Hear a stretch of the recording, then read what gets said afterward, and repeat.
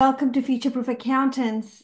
My name is Neha, and today we're going to talk about how we create a client profitability report.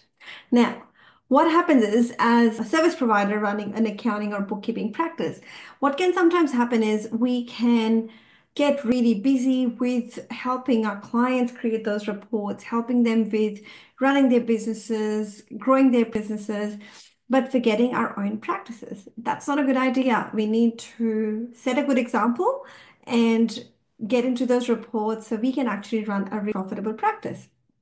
If you don't look at the small parts of the business reporting, then it's going to be difficult for us to grow a practice with strong roots. So it is a good idea to keep an eye on client profitability report, lots of other reports that you want to look at, like staff profitability, team leaders profitability, that sort of thing. But today's video is mainly around client profitability. And this one was one of the favorite reports. We ran a webinar recently, and I'll put the link down below as well on practice reporting using XPM. So XPM is quite a loved software. A lot of practices use it. Um, some use it with love, some use it with frustration. But we do have a big uh, group of accounting practices in Australia who use it heavily. And I know that um, they, there are practices outside of Australia, in New Zealand, um, US, who use XPM as well. So hopefully this will help you with, uh, with some of the reporting right there. So I'm going to now share my XPM screen with you all. I will be sharing part of the screen for the confidentiality of my client name. So bear with me. If you look here where there's report section, there's standard reports, which we can see right here, which are in build, which are already created by XPM. You then have the option of going to Report Builder. Now, to create a good client profitability report, I'm going to go to Report Builder. So I'll click on Report Builder now. And then it will take it'll take me to lots of options. So these are the reports that I've created. These are the custom reports.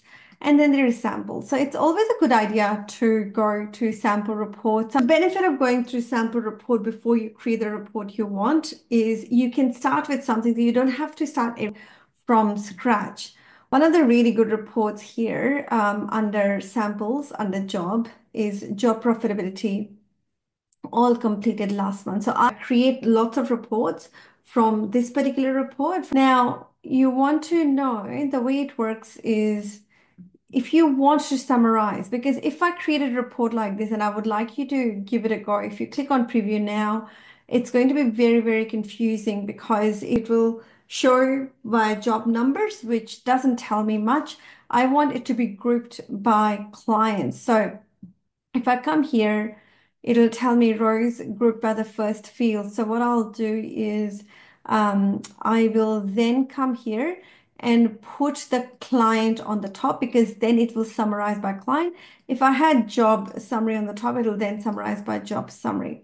So happy with that. That's all I'm changing, right? Again, once you start into, like, once you get into it, you can change things. Like, you might not be using estimated costs. I don't use estimated costs. I don't need that option. I don't use quotes within XPM. So I don't need that. So all I need is actual cost and billable amount and invoice amount. So I'm just going to take off the quotes right there. I love doing this from the start of the last month to the end of last month. That gives me clear understanding of the profitability. Then you can come here and change the name if you want. So I'll just call it client profitability report, um, all completed jobs. Now, this is basically for completed jobs, right? So the jobs that are not completed will not form part of this report. Now, this is ideally for practices that close jobs each month. If you don't close jobs each month, you can do quarterly. You can still do monthly that, you know, the only thing would be that your criteria for the report will change. You might do job date created, might have job date last invoice, you know, you, you'll change criteria according to how your practice XPM is set up.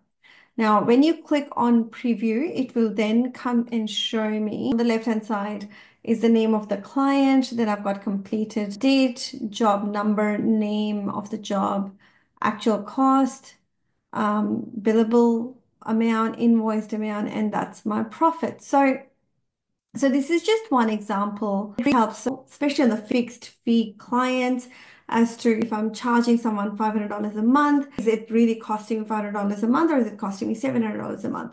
So if we do it more regularly, that's why I prefer to do it on a monthly basis rather than things getting out of hand. Actually, we go one step ahead. We check our work in progress each week as well. Every Friday, we do a work in progress check in to make sure we are not going beyond the budget. So there are small things that you can include in your practice to make sure that things are running profitably, efficiently.